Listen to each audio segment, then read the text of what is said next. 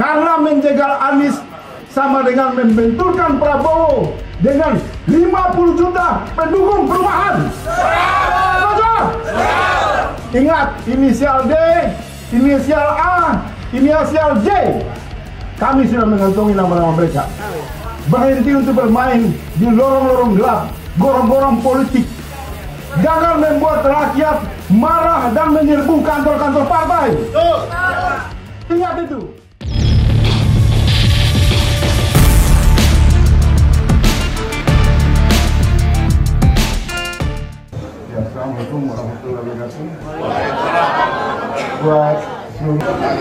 Mengapa saya mengajak sahabat-sahabat semua harus dalam satu barisan berdiri sama-sama?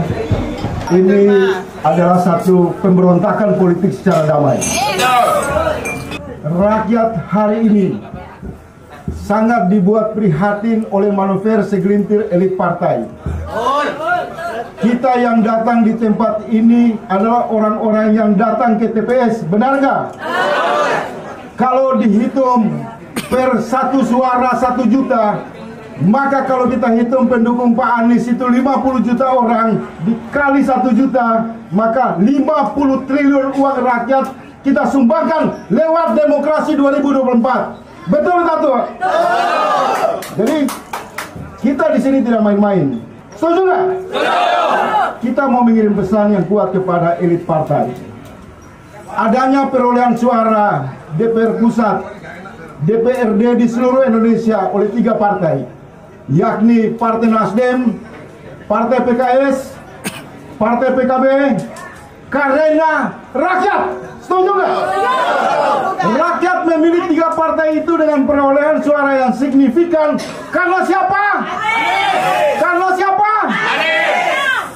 Seluruh publik di Indonesia sangat membaca dengan terang. Ketiga partai itulah yang paling banyak bersuara di ruang publik mengatakan bahwa Pak Anies akan dikembalikan ke Jakarta untuk membenahi Jakarta karena sejak Pak Anies tinggalkan Jakarta, Jakarta makin amburadul. Itu kenyataan atau tidak? Ini adalah pertemuan awal. Kita akan bikin pertemuan yang jauh lebih besar.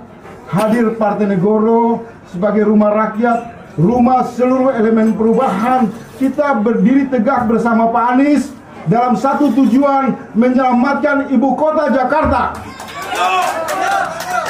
Kita tidak akan membiarkan Jakarta dipimpin oleh calon permufakatan hasil partai politik. Tapi pemimpin yang dihasilkan oleh suara rakyat. Dan rakyat telah memberi suara kepada PKS, PKB, dan Nasdem. Sampai hari ini kami masih berprasangka baik. Bapak Presiden PKS, Bapak Surya Paloh, Muhaimin Iskandar, mereka bukan pribadi-pribadi yang pembohong dan pengkhianat. Nggak? Ada manuver dua tiga orang berinisial D, berinisial A, berinisial J melakukan konspirasi busuk untuk meneror tiga partai untuk membuat Anies dijegal agar tidak masuk dalam pentas pilkada. Apa yang mesti dilakukan? Apa yang mesti dilakukan? Kalau Partai Negoro mengundang Bapak Ibu Saudara-saudara pendukung perubahan datang ke kantor Nasdem, mau datang nggak? Kalau datang ke kantor PKS, mau datang atau tidak? Kalau datang ke kantor PKB, mau datang atau tidak? Cara itu kita tunjukkan kepada mereka. Suara kita satu suara satu juta. Dikali 50 juta orang pendukung perubahan Indonesia, jumlahnya 50 triliun. Jangan menghinakan rakyat. Jangan lecehkan suara rakyat. Jangan mengabaikan aspirasi rakyat. Kantor-kantor partai bisa diserbu oleh rakyat. Karena permufakatan jahat dengan cara-cara curang, cara-cara culas hanya demi mengabdi untuk melayani bocah karbitan istana. Siapa dia? Dia hanya mendapatkan 2,8 persen. Partainya tidak laku. Tetapi para elit-elit partai menggendong bocah karbitan. Pertama Gibran, kedua Kaisang. Yang tujuannya untuk memaksakan melecehkan, memarjinalkan suara rakyat. Saya berterima kasih. Kawan-kawan dari Partai Negoro bekerja secara sungguh-sungguh dan tulus mencoba menggalang seluruh elemen jaringan perubahan. Kita hadir di sini dalam semangat egaliter, semangat kebersamaan, semangat persatuan, dan kita percaya bahwa Bapak Prabowo Subianto Bapak Prabowo Subianto tidak akan ditunggangi oleh kepentingan segelintir elit partai untuk dibenturkan dengan aspirasi rakyat pendukung perubahan.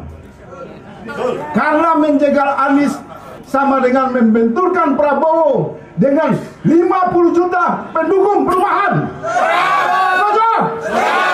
Ingat, inisial D, inisial A, inisial J kami sudah mengantongi nama-nama mereka. Berhenti untuk bermain di lorong-lorong gelap, gorong-gorong politik. Jangan membuat rakyat marah dan menyerbu kantor-kantor partai. Ingat itu. Dan minggu depan insya Allah kita akan libatkan seluruh kawan-kawan perwakilan relawan. Setuju nggak? Mengawal Anies dan kita pastikan kita bersama-sama memiliki hak suara yang kita berikan kepada PKB, PKS, Nasdem bersama Partai Negoro, rumah bersama dan seluruh elemen perubahan. Inilah rumah kita bersama. Pak Anies tidak sendiri. Pak Anies memiliki jejaring rakyat yang tidak bisa dikalahkan oleh permufakatan elit-elit partai. Pak Anies punya jaringan rakyat yang selalu berdoa setia dalam arus perubahan. Apakah semua setuju? Alhamdulillah.